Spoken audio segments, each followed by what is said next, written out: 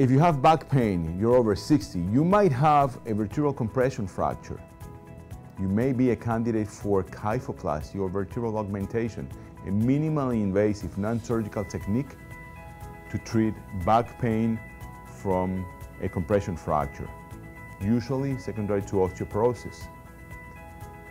I invite you to visit our webpage, uniqueinterventional.com, to learn more about kyphoplasty to treat back pain.